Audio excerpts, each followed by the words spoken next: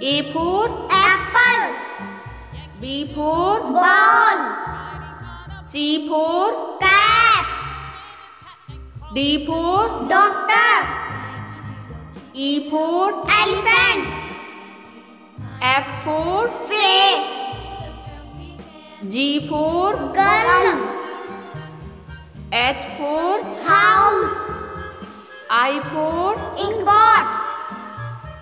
J for jackal K for king